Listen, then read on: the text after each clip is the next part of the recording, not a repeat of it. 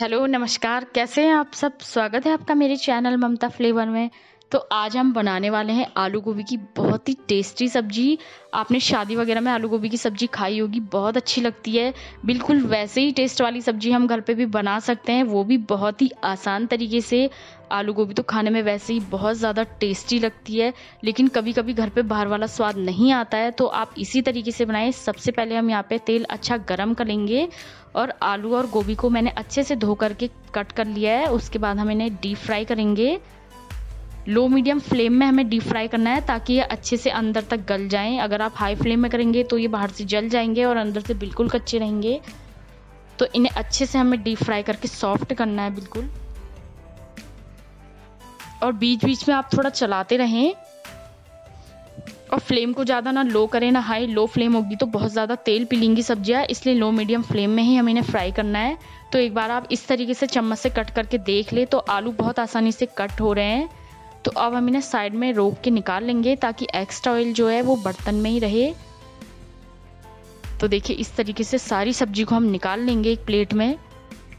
उसके बाद जो बचा हुआ तेल है, एक चम्मच तेल रखने दें आप और तेल निकाल ले साइड में रख लें। तो उसी कढ़ाई में मैंने एक चम्मच तेल है और यहाँ पे तेल गरम अच्छा हो गया है। यहाँ पे जीरा, हींग और दो तेज पत्ते डाल लिए हैं।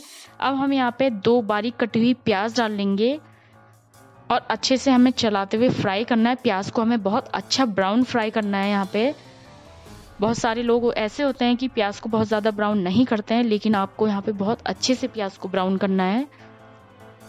और गैस की फ्लेम आप लो मीडियम ही रखें, उसमें प्याज बहुत अच्छा ब्राउन हो जाता है। अगर आप लो रखेंगे तो बहुत देर लग जाएगी प्याज को ब्राउन होने में। और तेज़ आँच पे तो प्याज जल ही जाएगी। हल्का सा जब ब्राउन हो जाए कलर चेंज हो जाए, हम यहाँ पे दो चम्मच लहसुन अदरक का पेस्ट डाल लेंगे। आपको पूरे दो चम्मच लहसुन अदरक का पेस्ट डालना है यहाँ पे। इसमें लहसुन ज़्यादा और प्या, अदरक थोड़ा कम होनी चाहिए पेस्ट में। तो देखिए, बिल्कुल कलर ब्राउन हो गया है। अब यहाँ पे आधा चम्मच कश्मीरी लाल मिर्च, एक चौथाई चम्मच लाल मिर्च, एक चौथाई चम्मच हल्दी और एक चम्मच यहाँ पे हम धनिया पाउडर डाल लेंगे। और नमक आप स्वाद अनुसार डालें। मैंने एक चम्मच नमक डाल लिया है और आधा चम्मच हम यहाँ पे डाल लेंगे गरम मसाला। गैस की फ्लेम अभी लो ही है। उसके बाद हम यहाँ पे डाल लेंगे तीन टमाटर की प्यूरी। तीन टमाटर को मैंने मिक्सी में पीस लिया था तो जितना प्याज होता है वैसे उसका दुगना टमाटर होना चाहिए। तो टमाटर बड़े साइज़ के थे तो मैंने तीन टमाटर यहाँ पे डाल लिए हैं। तो अब हमें इस मसाले को बहुत अच्छे से पकाना है। कम से कम सात आठ मिनट तक हमें मसाले को अच्छे से पकाना है, ताकि इसका कलर बिल्कुल चेंज ना हो जाए जब तक।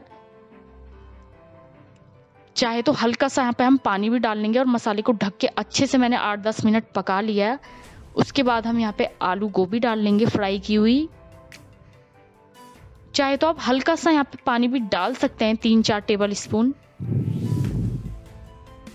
और सारे मसाले को हम अच्छे से सब्ज़ी में मिला लेंगे।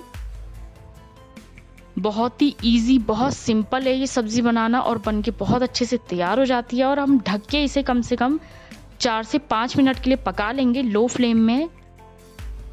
चार से पाँच मिनट बाद हम चेक करेंगे हमारी सब्ज़ी बहुत अच्छे से बन के तैयार हो गई है, उसका कलर भी बहुत अच्छा आ रहा था। तो आप इसी तरीके से घर पे बनाए आलू गोभी की सब्ज़ी।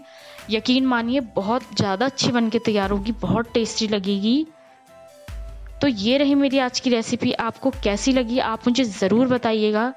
अगर आपको मेरी रेसिपी पसंद आई हो तो मेरी वीडियो को लाइक और चैनल को सब्सक्राइब करना ना भूले। मैं मिलूँगी आपको अगली ही एक ऐसी नई रेसिपी के साथ। तब तक के लिए बाय टेक केयर